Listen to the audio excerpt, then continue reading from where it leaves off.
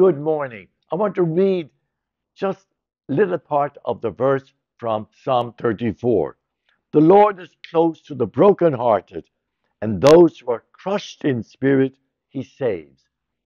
Do you ever feel a little bit brokenhearted when you hear about the death of a friend or the loss of a relationship or your own life being threatened in some way by a health issue? Is there not some little crack in your heart?